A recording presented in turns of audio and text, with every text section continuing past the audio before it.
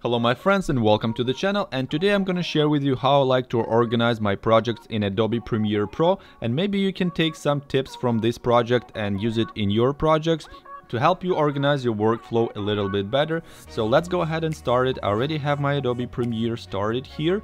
And of course, if you're new to the channel, don't forget to subscribe, click the notification bell so you don't miss new videos because I'm gonna have more helpful videos coming out soon. And if you find this video helpful, go ahead and smash it and click that like button. Thank you guys. Enough for the intro, let's go get started. So as you can see, I have this project here. I haven't even started the timeline yet. So let's go ahead and start the timeline.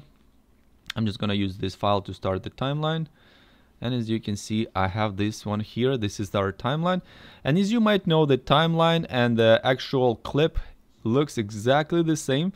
The only difference is the original clip has this icon here in the bottom right corner where it looks like a film and then it has this kind of waveform. This way you can tell it's actual clip. If you go down here, you can see this icon right here and this means it's a sequence. It's not that clip itself. So for example, if I add another clip to this timeline here, this picture doesn't change and you can see there is both clips on this timeline right now. So this is why you want to organize your project better so that if you have multiple files in your project, it's going to be easier to find them. And the more complicated projects you get, where you have the sound effects, where you have audio, where you have video, we have stills and stuff like that you want to make sure it's all organized properly. This way it will allow you to work way more efficient. So let's go ahead i'm going to show you how i organize my project. If you find it helpful let me know in the comment section below. If you have any questions let me know as well. Let me know if you do it a little bit different than i do.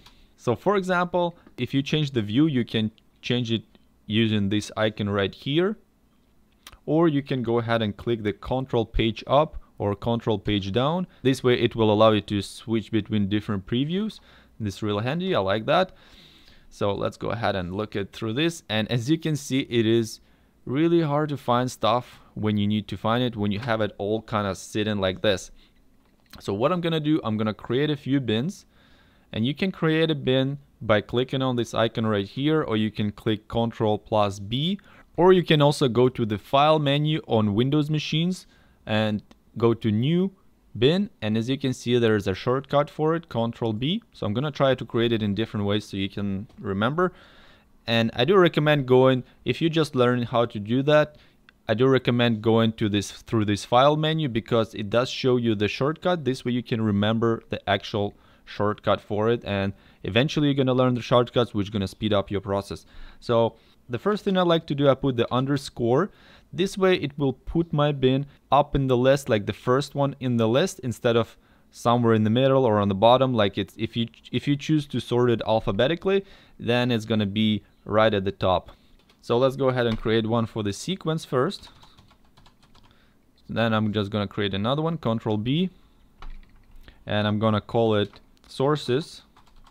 And this is where I'm gonna put all my video sources and as you can see, I have a few video sources right here. So I'm gonna put them in this bin with the sources. And I also have my timeline. I'm gonna rename it and I'm gonna call this timeline project organization. The sequence name has changed on the timeline as well.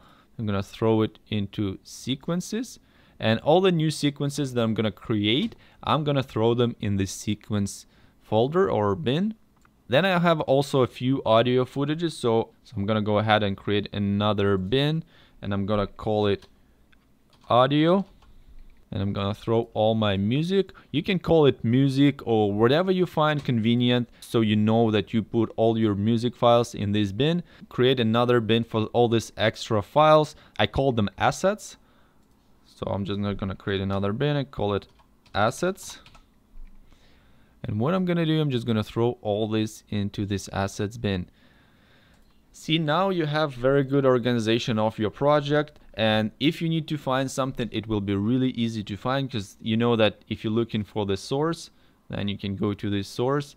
And if you have, for example, sources with different frame rate or from different cameras, you can call it sources from camera A or sources from camera B or whatever name from the camera, like sources from the smartphone, sources from the camera, then this will allow you to really go quickly through all your sources.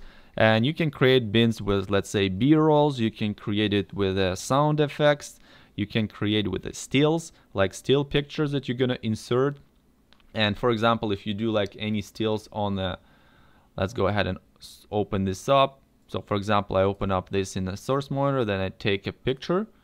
It creates a still and it will include it into the project. It will import it into the project. Make sure to check mark this import into project and then click OK. And now if you go to your project, you can see that Adobe Premiere has created this still. So for this case, what I'm gonna do, I'm just gonna create another bin and call it stills. And I'm gonna throw all my stills into this bin.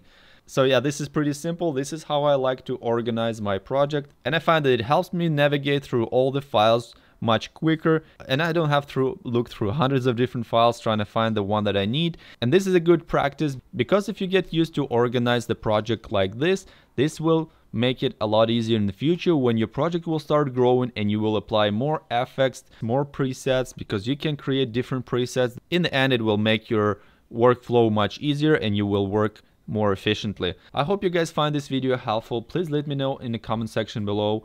If you have any questions or if you have any comments, let me know if I have missed anything and maybe you organize your projects different. I would like to know how you organize your project because if we share the knowledge then we all get better. So this is the key. I hope you guys find this video helpful. Don't forget to give it a like, subscribe to my channel. I do appreciate it. Hope you have a nice day and I'll see you soon. Bye bye.